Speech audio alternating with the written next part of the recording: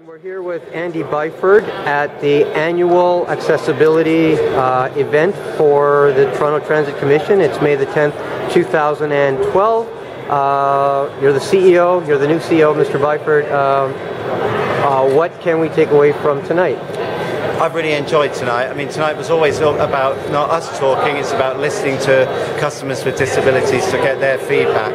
As I said in my introductory comments, um, we have made a lot of progress uh, in terms of uh, addressing disability issues. We're now fully 100% low, uh, 100% accessible bus fleet.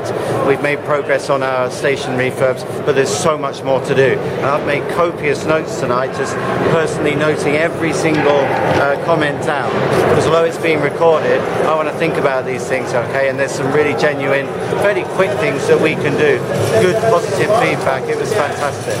Well, Mr. Byford, thank you very much. You've had a very long evening, and I think the event uh, was an honest conversation.